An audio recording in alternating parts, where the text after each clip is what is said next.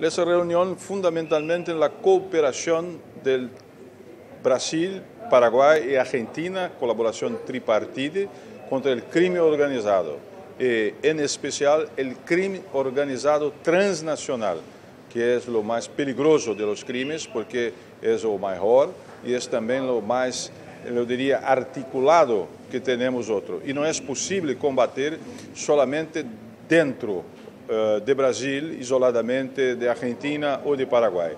Temos que ter uma cooperação para ser um bom combate, o combate que é necessário para defender nossas populações contra este crime que traz a insegurança, a violência e a morte.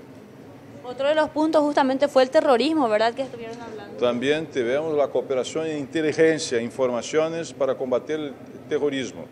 Eh, sabemos, sabemos que a Argentina tem duas experiências neste, eh, neste caso. Eh, há que ter uma preocupação tanto em Brasília e em Paraguai para que não aconteça o que aconteceu na Argentina e na Argentina que não se repita a tragédia que foram os atentados em 92 e em 94 nesse país hermano.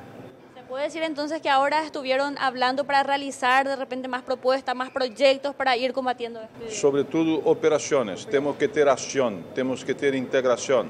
Las palabras clave son integración, hoy no se puede trabajar aislado, ninguno puede trabajar, e inteligencia, integración e inteligencia que son fundamentales para combater o crime moderno, que é o crime em rede, que é o crime que se globaliza, que é o crime que tem uma alta capacidade de mobilidade. Então, nós, ou, nós, ou nós outros também nos modernizamos, atualizamos, ou fica muito difícil combater o crime organizado. Uma reunião entre os representantes de Paraguai, Argentina e Brasil, eh, que é um, um, comando tripartita que se reúne periódicamente, específicamente que, que actúa en el área de las tres fronteras. Y bueno, hoy tuvimos la suerte de contar con tres ministros de la República Federativa del Brasil y también dos representantes de los ministerios de la República Argentina, cuatro ministros del Paraguay. Bueno, se siguió y se sacó una declaración ministerial muy importante que abarcan tres áreas principalmente, terrorismo, crimen organizado e inteligencia. Y en, en, el, en el último punto, en el de inteligencia, hemos resaltado que se ha puesto finalmente en, en, Paraguay en funcionamiento la Secretaría de Inteligencia, que venía siendo postergado por mucho tiempo y bueno, todo el trabajo que se viene realizando acá en crimen organizado y el aprovechamiento también de las experiencias de los otros países en cuanto a, a terrorismo, especialmente de la Argentina, en ese campo. Y bueno, eh, fue muy provechoso la declaración que seguramente van a tener acceso. Eh, es muy, muy importante y se estableció seguir trabajando y hacer esta re, estas reuniones periódicamente.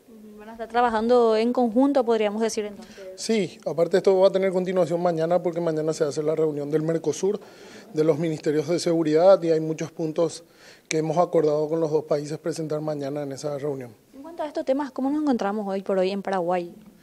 Bueno, nosotros venimos trabajando hace mucho tiempo en forma coordinada con estos dos países en lo que hace a frontera y en cuanto a los números de seguridad en general, siempre hemos resaltado que en el gobierno del presidente Cartes se han mejorado sustancialmente.